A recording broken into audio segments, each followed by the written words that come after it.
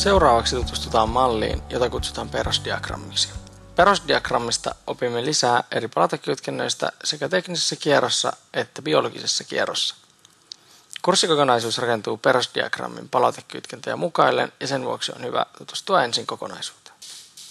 Perusdiagrammin keskusosan muodostaa lineaarinen talousjärjestelmä, jota kuvataan alaspäin kulkevana kaaviona yläraunan raaka-aineiden hankinnasta ja valmistuksesta kohti kuvan alareunan energian talteenottoa ja kaatopaikkasijoitusta. Kiertotalouden tavoitteena on käyttää raaka-aineita kuluttamatta niitä kuitenkaan loppuun. Tällaisessa järjestelmässä tekniset ja biologiset materiaalit säilytetään toistuvissa kierroissa. Palautuskytkennät materiaalien uudelleen käyttämiseksi esitetään kaavion molemmin puolin. Vihreät nuolet ovat biologisia ja siniset nuolet teknisiä kiertoja. Tuotteen kunnossapidolla tarkoitetaan prosessia, jossa tuote pidetään hyväkuntoisena. Käyttäjä säilyy kunnossapito toimenpiteiden jälkeen saman.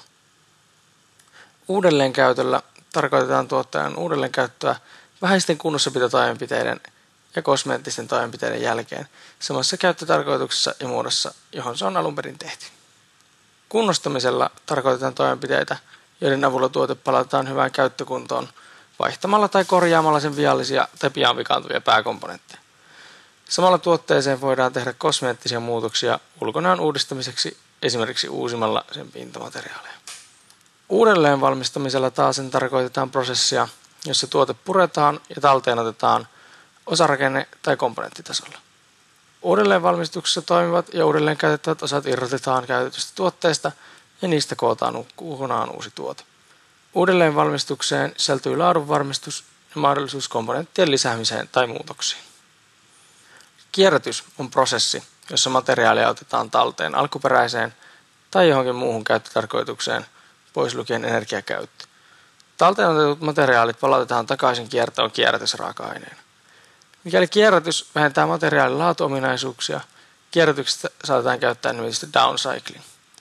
Vastaavasti prosessointia materiaalin tai tuotteen laadun parantamiseksi voidaan kutsua nimellä upcycling. Biokemiallisilla raaka-aineilla tarkoitetaan biologisia kemiallisia komponentteja, jotka voidaan palauttaa biosfääriin. Biokemiallinen talteenotto koostuu biomassojen jalostusprosesseista, joilla tuotetaan biomassoista nestemäisiä liikennepolttoaineita sekä sähköä, prosessihöyryä ja kemikaaleja. Biojalostamalla nämä eri tuotteet tuottavat prosessit on yhdistetty toisiinsa useamman tuotteen ja energian samanaikaiseen tuotantoon. Mädätys on prosessi, jossa mikroorganismit hajottavat orgaanista materiaalia, kuten ruoantähteitä ja lantaa hapettomissa olosuhteissa. Mädätyksessä muodostuu biokaasua sekä kiinteää mädätettä. Biokaasua, joka sisältää pääasiassa metaania ja hiilidioksidia, voidaan käyttää maakaasun tapaan.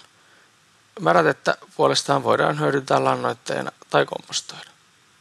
Kompostointi on biologinen prosessi, jonka aikana luonnossa esiintyvät mikroorganismit, kuten bakteerit ja sienet, hyönteiset, etanat ja kastemarot hajottavat orgaanisia materiaaleja, kuten lehtiä tai ruoantähteitä kompostimullaksi. Kompostoinnin avulla voidaan palauttaa biologisia ravinteita maaperään luonnollisella tavalla. Biokaasu on biopolttoaine, jota tuotetaan hajottamalla orgaanista materiaalia hapettomissa olosuhteissa. Biosfääri käsittää globaalisti kaikki ekosysteemit sisältäen kaikki elämänmuodot ja niiden elinympäristöt. Biosfääri muodostaa noin 20 kilometriä paksun kerroksen maapallon pinnalle ja sen ilmakehään. Maan parantaminen on biologisen kierron vaihe, jossa materiaalit muutetaan kasveille ja mikroorganismeille saatavilla olevaan muotoon. Palauttaminen tapahtuu ajan kuluessa pääasiassa auringon tarjoaman energian avulla. Viljely- tai keräilyvaiheessa ihminen korjaa biosfäärissä tuotettuja raaka-aineita esimerkiksi maanviljelyksen, metsästyksen tai kalastuksen kautta.